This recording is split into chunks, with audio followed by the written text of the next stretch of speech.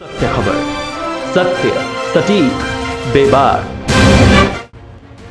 लगातार बढ़ते प्रदूषण को लेकर एनजीटी और दिल्ली सरकार ने जहाँ हरियाणा सरकार और पंजाब सरकार को किसानों द्वारा पराली जलाने को लेकर तलब किया है तो वहीं दिल्ली सरकार ने दो दिन पहले अपनी बैठक में बताया कि बढ़ते प्रदूषण में कंपनियाँ भी शामिल हैं।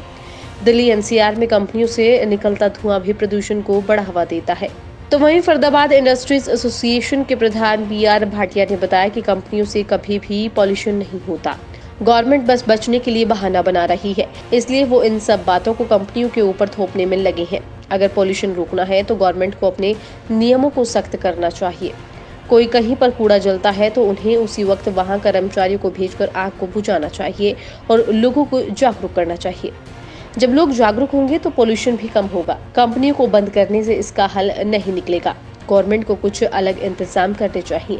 देखो मैं एफ़ आई के यहाँ पे ये कह सकता हूँ कि ये तो चार दिन से इंडस्ट्री बंद पड़ी है।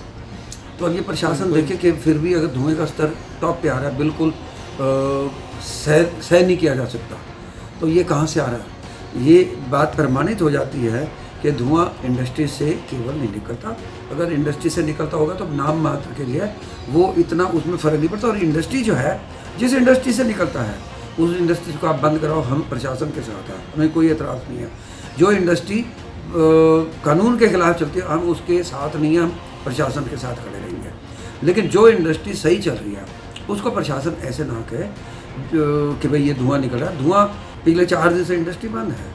धुआँ खूब चल रहा है। सांस लेने में तकलीफ़ हो रही है पूरे आसमान वो देखिए सरकार का काम है देखना कि ये कहाँ से आ रहा है धुआँ। सत्य खबर के लिए फरीदाबाद से पूजा शर्मा की रिपोर्ट।